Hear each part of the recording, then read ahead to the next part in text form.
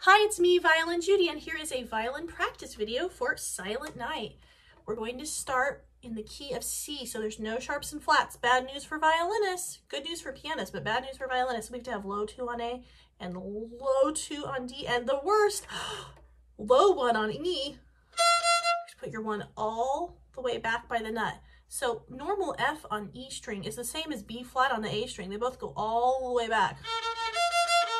Very low. Okay, here's the beginning, normal three and normal one on D. I'm slurring. You can practice this first without slurs. Here's three on A. Hold me, please, now low two. Here's open A. Now the whole measure slurred.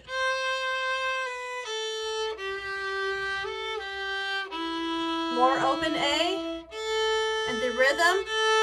Cha-cha-cha, quick quarter. Cha-cha-cha, quick quarter. Hold me, please. Hold me, quarter. Low one, cha-cha-cha. Regular one on A. Hold me, please. You can use open E or four. I'll rewind two measures and play it with four so you can hear how that sounds. Hopefully the same maybe a little softer, and then two. Now, if you want to end the song here, you can skip to three on G. Okay, now the last line has a little coda, that's a special ending. Two, three, one, three, A, one.